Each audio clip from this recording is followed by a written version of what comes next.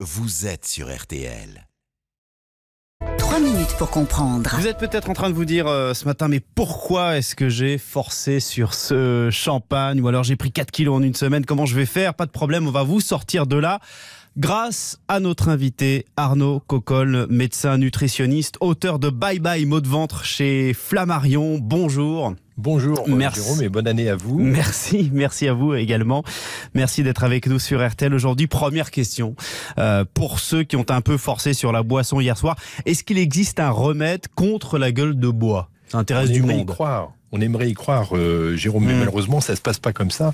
Donc, euh, le meilleur remède euh, après, c'est de mettre un petit peu son foie au repos.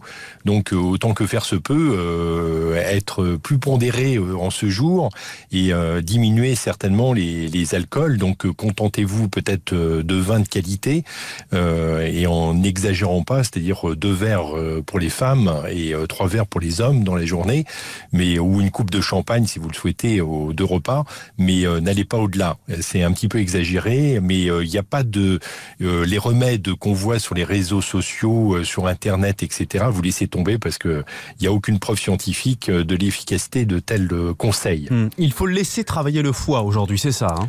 Ah, il faut laisser travailler le foie parce que notre foie est un épurateur, donc c'est lui qui qui a pour vertu en fait de de stocker les un petit peu les, les résidus de nos aliments. Et le problème actuellement de notre société, c'est que notre foie il stocke un peu trop, donc euh, il s'abîme, euh, il s'altère plus ou moins facilement.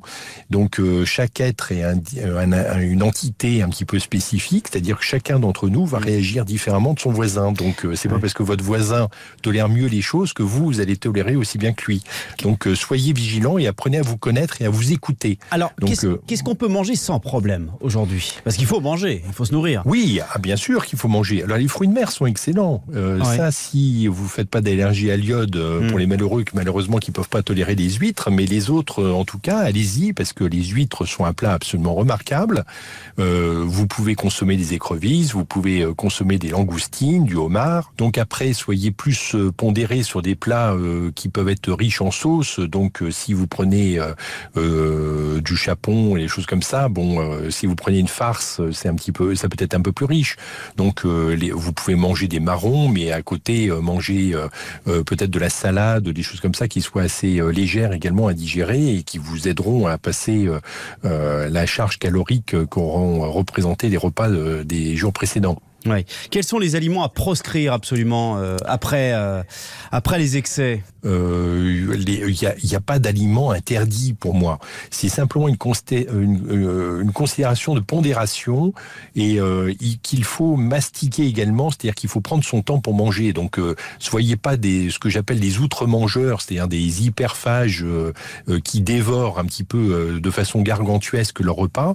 Donc, prenez le temps de savourer, de c'est un moment de plaisir, c'est-à-dire on est autour de la table un petit peu comme les tableaux finaux euh, des albums d'Astérix, c'est-à-dire on est autour du banquet, on partage.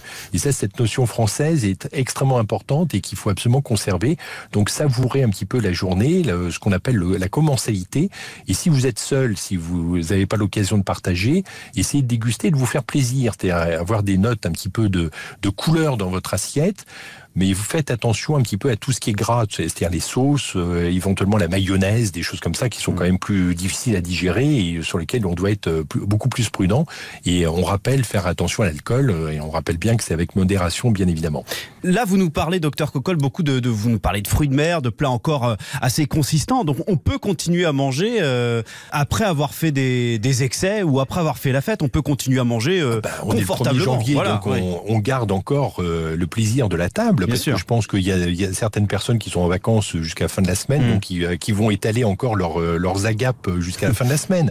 Mais bon, au fur et à mesure qu'on se rapproche de la rentrée, c'est vrai qu'il faut être euh, revenir vers des bases peut-être de modération, en tout cas au niveau des volumes à gérer. Mm. Puis il y a la galette des rois qui commence, donc là, bon, il y a des charges caloriques encore qui vont continuer, parce qu'il y a des invitations et des sollicitations. Un tel a eu la fève, donc il rachète, etc. Donc on ne sait plus quand est-ce que ça se finit. Donc restez dans le, le, raisonnable, c'est-à-dire des portions raisonnables, et réfléchissez à ce que vous mangez. C'est-à-dire que je pense qu'à table, il faut être un mangeur conscient. Donc il ne faut pas être un mangeur qui ne pense plus à rien. C'est-à-dire que ne faites rien d'autre en mangeant. Hmm. Ne soyez pas devant votre ordinateur après, devant votre télé, euh, en mangeant. C'est-à-dire vous essayez de vous concentrer. Se concentrer sur la nourriture pour pouvoir prendre du plaisir en mangeant. Vous n'êtes pas un fanatique des régimes, hein. pourtant ça va commencer là dans le mois qui vient. Et je trouve que c'est une aberration complète, Jérôme. Moi, mm. je pense que les, les régimes sont absolument contre-productifs et absolument dramatiques parce que vous incitant en fait à vous restreindre, pensant qu'il y a des aliments qui sont à bannir, ce qui est une, aberration complète et un non-sens médical complet, et au risque de développer des troubles du comportement alimentaire. Il y avait des études qui montraient très bien que l'intention même de se mettre au régime, c'est-à-dire dès lors qu'on vous prononce presque le mot régime, vous faites comme Gaston Lagaffe après une allergie, c'est-à-dire que vous commencez tout de suite à, à être complètement obsédé par ce mot et qui provoque des troubles majeurs du comportement alimentaire. Actuellement, on est des sans lactose, sans gluten, euh, on ne sait plus quoi manger.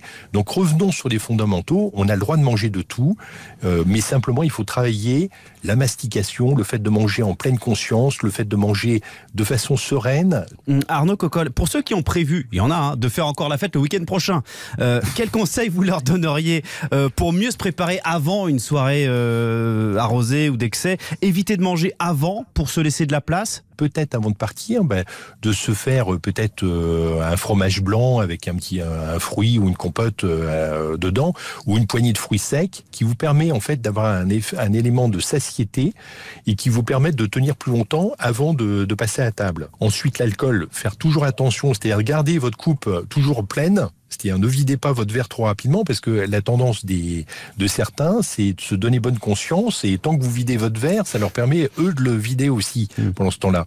Donc essayez de garder votre verre le plus rempli possible, le plus tard possible. Mmh.